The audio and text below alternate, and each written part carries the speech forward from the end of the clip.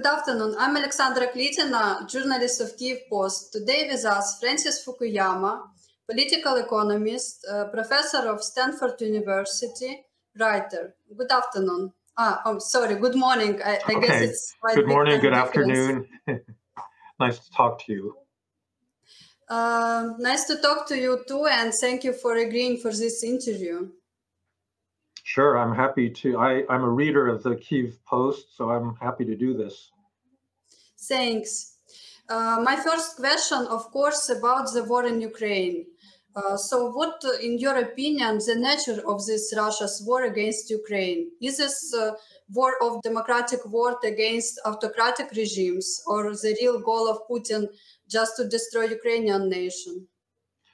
Well, I think it's both. I think that um, he has specific objectives in Ukraine. He didn't like the fact that the Soviet Union fell apart, and so he'd like to reassemble as much of the Russian Empire as uh, as possible but he also clearly doesn't like liberal democracy. And uh, he, you know, has been supporting anti-democratic regimes all over the world.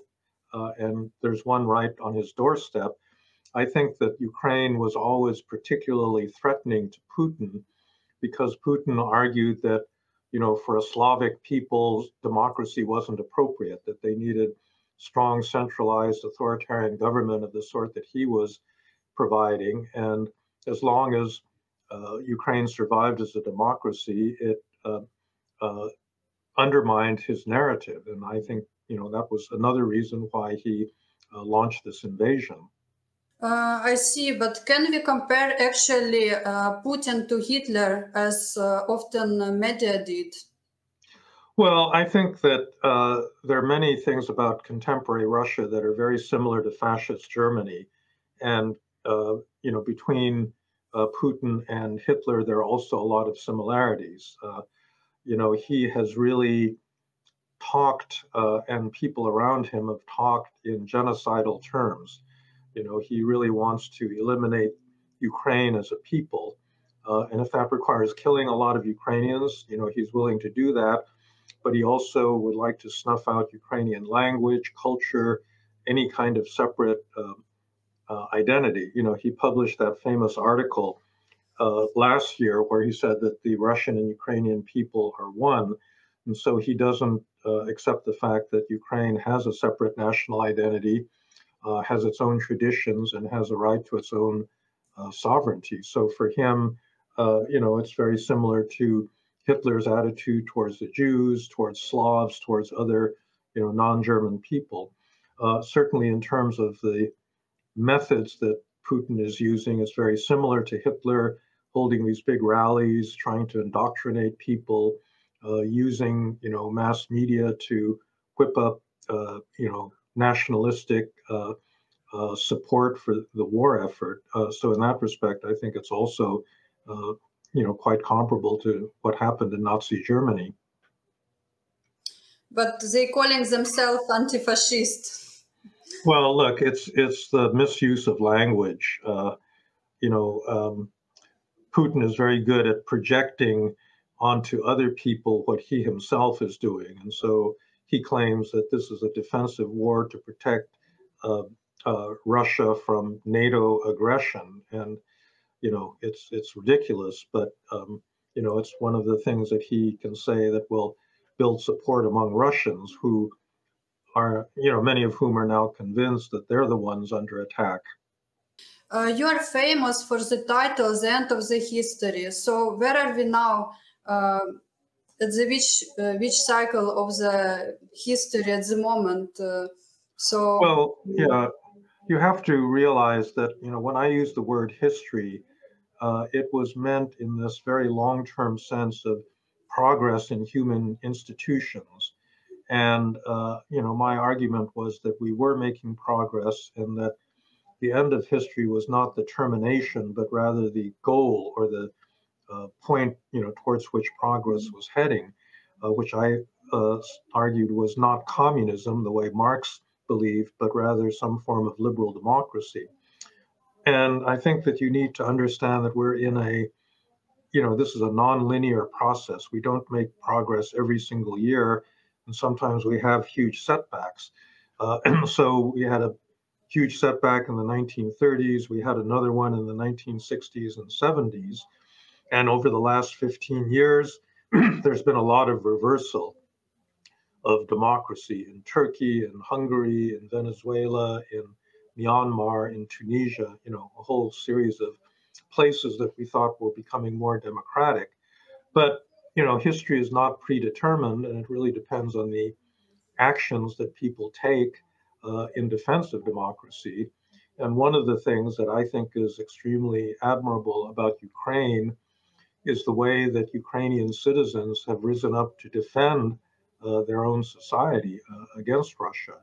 Uh, I think it's demonstrated to the rest of the world that there are people that want to fight for their freedom. Uh, they're willing to take risks and to die for that freedom. Uh, and it's a very inspiring uh, story to everyone else. And I think if Ukraine is successful in pushing Russia back, it will, uh, you know, be a big victory for democracy, not just in Ukraine, but you know, around the world as a whole. You know, Putin was the leading anti-democrat in the world. Uh, he and the Chinese were arguing that democracy was weak, it was ineffective, it was in the on decline, and now you know he it's his society that seems to be declining. So, you know, for all those reasons, I think, um, you know, Ukraine is helping to push history uh, forward, if, if you if you want to put it in those terms. Uh, so, has history been uh, jump started? Well, I do think that if uh, you know Russia is really forced to uh, back down and pull out of Ukraine, it is going to be a big boost uh, to democracy, you know, in other parts of the world. Uh, there are many people struggling against dictatorship in many different countries that are looking to Ukraine, and if Ukraine is able to resist uh, Russia in this manner, then I think uh, they will uh, be inspired by it. And um, do you think uh, would Russia survive as a state in a case if it lose? Well, I I suspect that it's going to survive. Putin may not survive. You know, Putin's legitimacy is built around the fact that he's a strong man and that he can get things done and he's successful at using power. But, you know, what he's done is really uh, turning into one of the biggest uh, disasters that I can think of in, in you know, my lifetime. Uh, he's basically led to the destruction of his own uh, military. Uh, he has uh, isolated Russia from the rest of the world. He's undermined the economy in his own society. And I think that anyone that, you know, is defeated in that, you know, stark way is going to have a hard time surviving if his only claim to uh, to power is uh, the fact that he's strong if you demonstrate a strong man is weak, you know, he's he's not going to last very long. Actually, Russian uh, society is quite supportive to Putin's actions. Well, so far, so far, but I think that um, you know the sanctions are going to kick in over time uh, much more strongly than they have, uh, where it's going to affect uh, Russian living standards. I think that uh, many Russians don't appreciate the uh, degree of military loss that they've suffered uh, already at this point. Uh, and I think that, you know, once that begins to sink in, uh, well, also, I think the mobilization in Russia has uh, scared a lot of people because now, for the first time, they realize that this war is going to affect them. so, all of these things, I think, over time will erode the kind of automatic support that you know a leader gets when he starts a war. Yeah, and it's been happening in the history with Russia's wars. Uh, it's uh, Russians not uh, actually forgive the leaders uh, losing the war. Well, that was true in 1905. It was true in 1917. So, yeah, I think that's right. Um, what would happen if Putin uses nuclear uh, weapons in the war? And um, what is the probability of that? Well, I don't think it's likely. You know, nobody can rule it out because it is, you know, the one element of Russian power that gives them claim to being a, you know, a really big, great power. But I don't think they're going to use a nuclear weapon precisely because I don't think it's going to benefit them. Uh, I don't think it's going to turn the tide militarily. It's going to undermine what remaining support uh, Russia has uh, internationally. Uh, it's going to have a lot of bad effects in Russia itself because radiation is not something you can aim just against one country. You know, when you set off a a, bomb uh, that close to your own uh, territory, and finally, I think that NATO has many options uh, in response to the use of a nuclear weapon. Uh, NATO does not have to use nuclear weapons itself, but I could see NATO being drawn directly into this war and attacking targets, you know, Russian targets, both in Ukraine and in Russia, in response to the use of a nuclear weapon. And, you know, Ukraine is about to defeat Russia all by itself, but if NATO comes into this conflict as well, the Russians have no chance. I mean, they're not going to survive that. So, I, I think that you know Putin is rational enough to make this calculation that the you know use of a nuclear weapon isn't going to help him. It's probably going to make his situation much worse, and that's the reason I don't think it's likely that he will do this. But why NATO would not interrupt uh, now, for example, to help Ukraine and to stop this war as soon as possible?